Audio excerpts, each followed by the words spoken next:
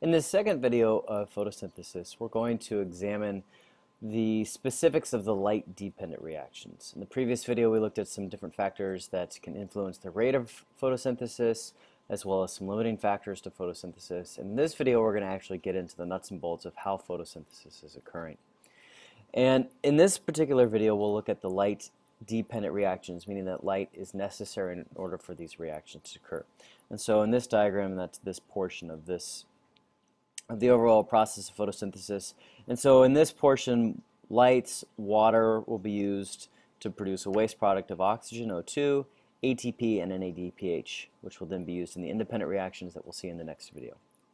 The light-dependent reactions are all dependent on light. Obviously, that makes sense. They, play, they take place in the thylakoid of the chloroplast. So that's where they're taking place. And within the thylakoid, there are chlorophyll molecules that are grouped together um, into something called a photosystem. And so this is a photosystem here, and this is actually called photosystem 2. And the reason why this first one is called photosystem 2 is because it was discovered secondly. Photosystem 1 that we'll see here in a second was discovered first. And what these photosystems do is they absorb the sunlight, specifically the photons from sunlight, and that light energy, those photons, bounce around these different chlorophyll molecules until it gets to a particular, um, a particular chlorophyll, specifically P680. And when that happens, electrons that are held at this photosystem um, then are excited, and the excitement of those electrons pushes them to a higher energy level. You can see right here.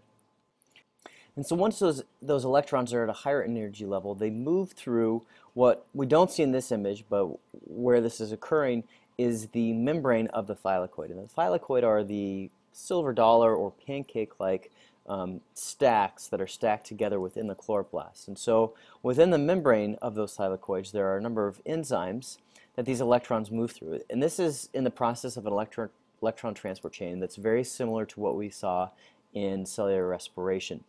And so the electrons move through the electron transport chain and through this process produce ATP um, in the same manner that is produced during cellular respiration. Now you may, may, be thinking, well, where do these electrons come from that are originally at this P680 pigment? Those electrons are produced, produced through a process called photolysis, and that is the splitting of water to produce hydrogen ions, oxygen, and electrons. Four electrons get moved into the uh, photosystem here.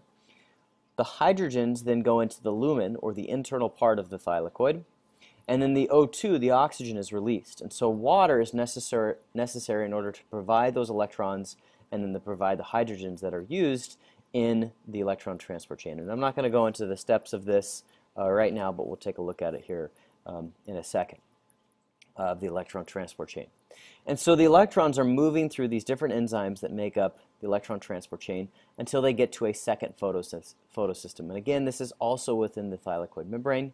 Additional light photons are absorbed at a different pigment of P700 this time. Again, those electrons are excited and they again move through a second electron transport chain. And in this process, um, two NADPH are going to be produced. And this is similar to the NADH that we saw in cellular respiration. The NADPH and the ATP are going to be used in the Calvin cycle a little bit later in the light independent reactions in order to actually make sugar.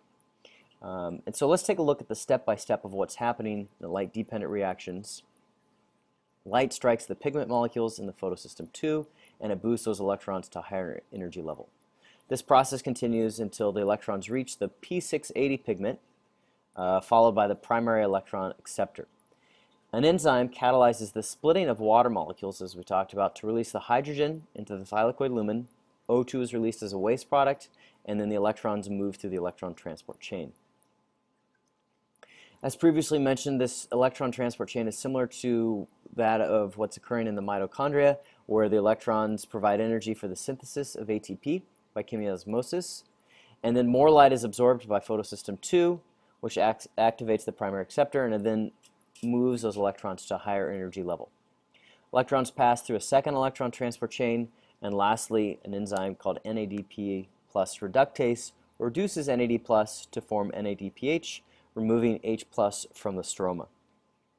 So here's an image that kind of puts all of this together that we can see that's, that's nicely done. You can see here are the green stacks of thylakoids here, and so this is where this is taking place. This is the thylakoid space, the lumen. Uh, out here is the uh, stroma, or the white portion of our overall chloroplast image. And so here is the enzyme.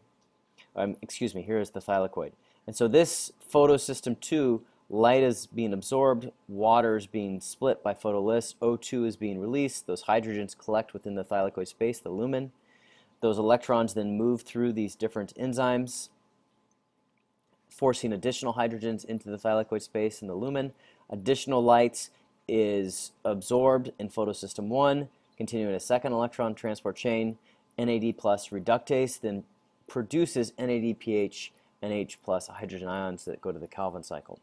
All of those hydrogen ions that get concentrated within the thylakoid lumen then move through ATP synthase to produce ATP. And so again, this is an example of a metabolic pathway in which there's multiple steps of reactions here occurring to produce an end product, in this case NADPH and ATP, that will then be used to uh, produce sugars. I want to look at the term of photophosphorylation by chemiosmosis, and this is the movement of ions across a selectively permeable membrane. The splitting of hydrogen, uh, H2O, by light creates hydrogen ions. And the electron transport chains moves those ions across the membrane from areas of high concentration, and then they diffuse, uh, those hydrogen ions diffuse down the concentration gradient, moving from high to low. And as they do this, they move through ATP synthase, which then creates ATP from ADP uh, by using that ATP synthase enzyme. And that's very, very similar, essentially the same thing as what we saw in cellular respiration. And so uh, a summary, overall summary of what we're seeing happening in the light-dependent reactions. Light energy is used to excite electrons. Photolysis of H2O produces hydrogen ions, electrons that are actually going to be used in the electron transport chain, and oxygen, O2, that is released as a waste product, thankfully for us. It then also produces ATP and NADPH, and those are going to be used in the light-independent reactions. And we'll look at the light-independent reactions in our, in our third and final video. Uh, to finish up this video, we want to look at a couple of other topics starting with Earth's atmosphere and photosynthesis. Photosynthetic prokaryotes first appeared on Earth about 3.5 billion years ago. We have this from the fossil record. And this was eventually followed by the Great Oxidation Event. So the presence or the evolution of these photosynthetic prokaryotes began to produce oxygen within the atmosphere. This began about 2.4, 2.5 billion years ago, in which the oxygen levels increased to about 2% of the atmosphere. So the overall total atmosphere, about 2% of it was comprised of oxygen. And this occurred by about 2.2 billion years ago. This increase in oxygen caused an oxidation of dissolved iron in ocean water. And it caused it per to precipitate into the seabed, and that seabed then formed some specific rock layers that we can see iron banded formations. And you can see this in various rock layers uh, throughout the United States and throughout the world.